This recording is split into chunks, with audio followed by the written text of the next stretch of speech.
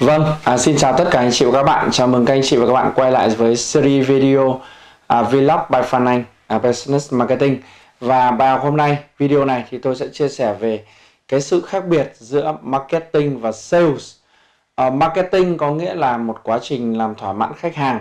Market và doing, đúng không? Thì tôi đã à, giảng dạy trong một cái video bài học khác.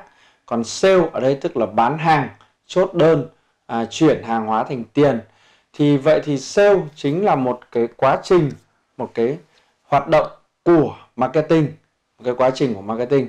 Đấy. Thế thì marketing nó rộng hơn và bao trùm cả sale.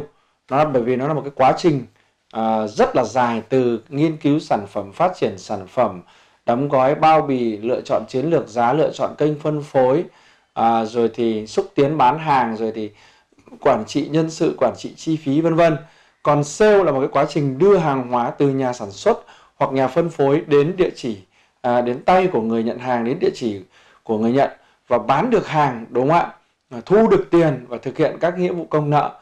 Thế thì sale nó là một cái cái quá trình nó nó cụ thể hơn và nó nhỏ hơn nó à, tập trung hơn đối với marketing. Còn marketing là một khái niệm bao trùm hơn. Đấy.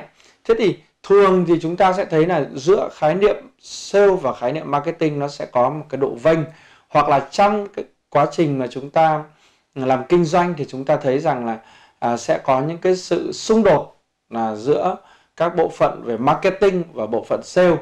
À, thí dụ như là phòng marketing thì thường thường có xu hướng là tiêu tiền còn phòng marketing à xin lỗi phòng marketing thì có xu hướng là tiêu tiền còn phòng sale thì có xu hướng là đem tiền về. Và lúc này nó tạo ra cái sự xung đột đáng kể trong công ty.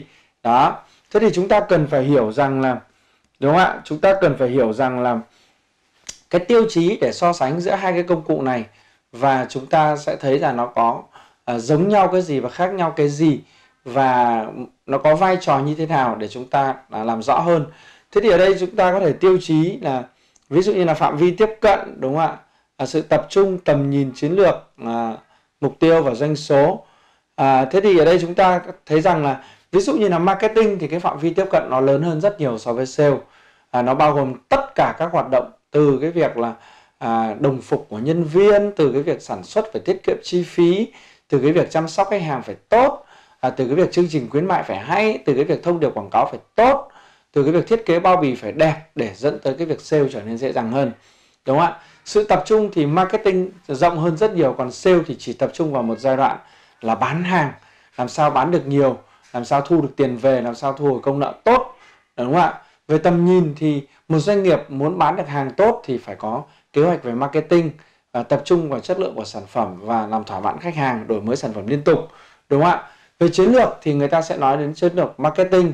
À, trong chiến lược marketing sẽ bao gồm các cái chiến lược về sản phẩm chiến lược về giá bán chiến lược về kênh phân phối chiến lược về à, xúc tiến bán và chương trình khuyến mại tiết kiệm chi phí nhân sự đào tạo nhân sự vân vân.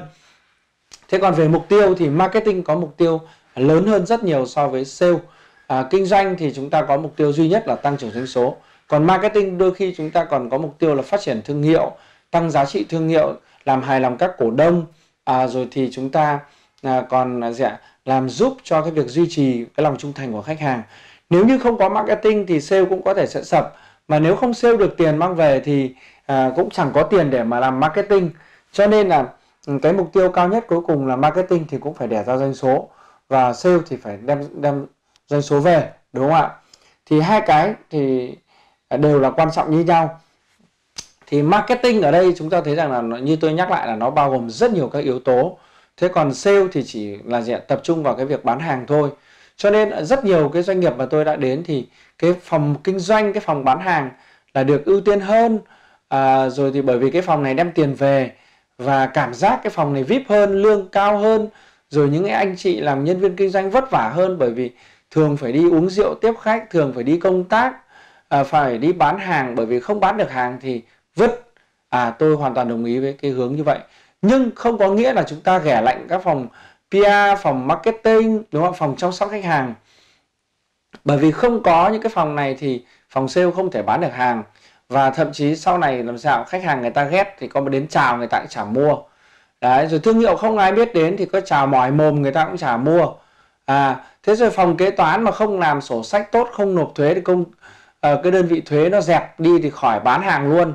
À, thuế người ta đến người ta bắt đi tù cả giám đốc luôn đúng không ạ?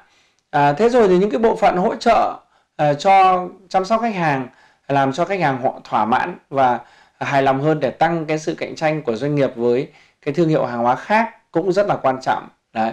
Thế rồi cái bộ phận sản xuất hoặc là à, nhập hàng về đúng không ạ? Thế thì họ nhập được hàng giá rẻ thì sale mới có lợi thế được. Đấy, họ sản xuất ra hàng hóa tốt và ổn định cũng như là doanh số à, liên tục liên tục tăng trưởng. Họ sẵn sàng tăng ca họ chấp nhận nhận cái mức lương thấp chứ không phải là cứ tập trung hết vào cái bộ phận à, phòng uh, kinh doanh đâu phòng sale đâu hay là nhân viên sale đâu. Có đúng không ạ? Rồi uy tín thương hiệu của chủ đầu tư vân vân. Đấy các bạn thấy đấy bán bất động sản thế thôi.